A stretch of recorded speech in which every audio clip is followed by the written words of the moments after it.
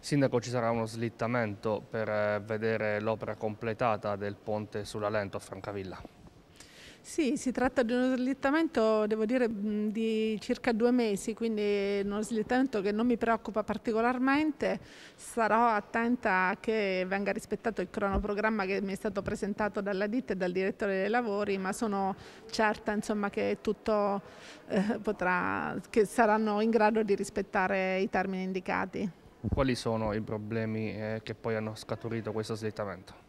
Problemi di natura tecnica proprio all'inizio dei lavori, però adesso hanno risolto tutto, stanno, pare che stiano andando speditamente, fra pochi giorni vedremo già emergere la parte visiva del ponte che quindi nel giro di pochi mesi insomma, modificherà lo skyline de, di Francavilla un'opera importantissima anche per quanto riguarda poi quello che sarà il turismo estivo sicuramente non si farà in tempo per l'estate 2022 ma per quella prossima sicuramente è un'opera importantissima per la cittadinanza.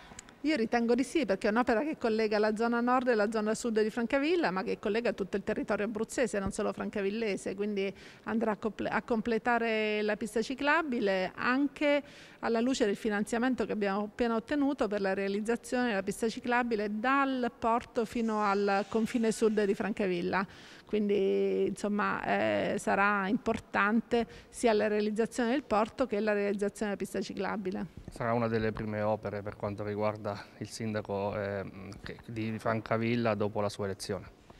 Sì, è un'opera che era già stata appaltata, era già in corso, quindi io mi occuperò di seguire i lavori. La, la, parte della pista ciclabile invece sì, sarà una delle prime opere. Abbiamo tantissime opere da realizzare grazie ai finanziamenti arrivati e grazie anche ai finanziamenti che speriamo di eh, conseguire con eh, il PNRR.